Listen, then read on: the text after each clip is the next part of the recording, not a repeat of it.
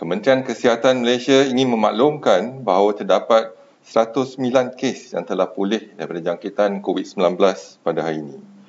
Jumlah kumulatif kes yang telah pulih sepenuhnya daripada jangkitan COVID-19 adalah 11,022 kes iaitu bersamaan dengan 67.9%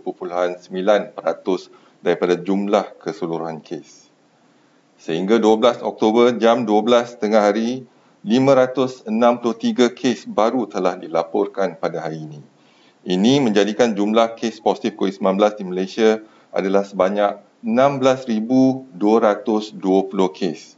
Oleh itu, jumlah kes aktif dengan keboleh jangkitan COVID-19 adalah 5,039 kes dan kesemua mereka telah diasingkan dan diberi rawatan di hospital. Daripada 563 kes yang dilaporkan pada hari ini, Sabah masih mencatat jumlah kes harian tertinggi iaitu 291 kes. Namun ianya rendah berbanding semalam iaitu 488 kes. Pulau Pinang pula mencatatkan lonjakan jumlah kes positif iaitu sebanyak 141 kes. Pun begitu, kesemua kes adalah daripada kluster penjara Reman di mana semua kes ini sememangnya terasing daripada masyarakat iaitu di dalam komuniti penjara. Ingin dimaklumkan daripada 563 kes baru yang dilaporkan hari ini, hanya terdapat satu kes import yang telah mendapat jangkitan dari luar negara iaitu Indonesia yang dilaporkan di wilayah Persekutuan Kuala Lumpur yang melibatkan warga negara Malaysia. Daripada 562 kes penularan di dalam negara, 498 kes adalah warga negara Malaysia dan 64 kes adalah bukan warga negara. Daripada 562 kes penularan di dalam negara, 10 kes pula merupakan pengunjung yang pulang dari Sabah sekaligus menjadikan jumlah kes dilaporkan mempunyai sejarah perjalanan ke negeri Sabah sejak 20 September 2020 sebanyak 363 kes. Perincian kes penularan COVID-19 dalam negara adalah seperti berikut. Di negeri Sabah, 291 kes telah pun dilaporkan pada hari ini. 28 kes daripada kluster-kluster yang tersedia ada. 4 kes daripada kluster baru iaitu kluster Kolong dan 259 kes daripada lain-lain saringan COVID-19 yang akan diperincikan kemudian. Di negeri Pulau Pinang pula, 141 kes daripada kluster penjara Reman. Di negeri Selangor, 69 kes telah dikesan pada hari ini. 57 kes daripada kluster-kluster sedia ada. 6 kes daripada saringan kontak rapat kes positif COVID-19. Satu kes daripada kluster baru, iaitu kluster Bah Tropicana. Satu kes saringan pulang daripada kawasan berisiko tinggi, iaitu di Sabah, dan empat kes daripada lain-lain saringan COVID-19.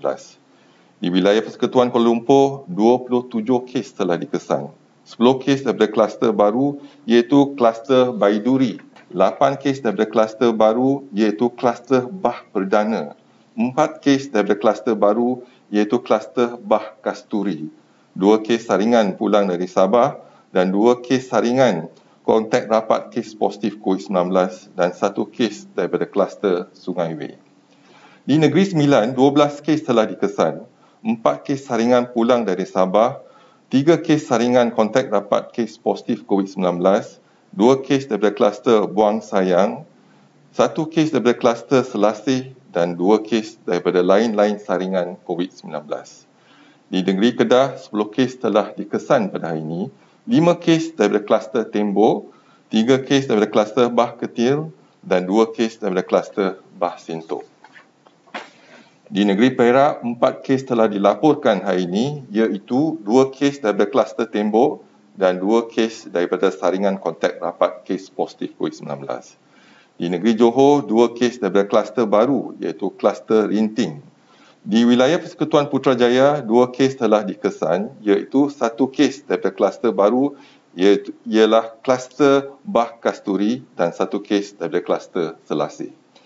Di wilayah Persekutuan Labuan, dua kes telah dikesan iaitu satu kes daripada kluster Bah Bandel dan satu kes saringan pulang dari negeri Sabah. Di negeri Sarawak, satu kes saringan pulang dari negeri Sabah telah pun dikesan. Di negeri Melaka, satu kes sebagai saringan kontak rapat kes positif COVID-19. Sehingga kini terdapat 98 kes positif COVID-19 yang sedang dirawat di unit rawatan rapi, di mana 29 kes memerlukan bantuan pertapasan. Daripada maklumat terkini yang dilaporkan ke CPRC Kebangsaan, duka cita dimaklumkan bahawa terdapat pertambahan dua kes kematian berkaitan dengan COVID-19. Justru jumlah kumulatif kes kematian COVID-19 di Malaysia adalah sebanyak 159 kes bersama dengan 1% daripada jumlah keseluruhan kes. Ringkasan kes-kes kematian hari ini adalah seperti berikut. Kes kematian 158 itu kes 15,947 ialah Uh, perempuan berumur 6 uh, perempuan berumur 85 tahun yang mempunyai latar belakang penyakit darah tinggi, penyakit jantung dan penyakit paru-paru kronik. Dia meninggal di Hospital Tower. Kes 159 ialah kes 15948 perempuan berumur 48 tahun yang meninggal di Hospital Tuaran. Kementerian Kesihatan mengucapkan takziah kepada semua ahli keluarga mereka.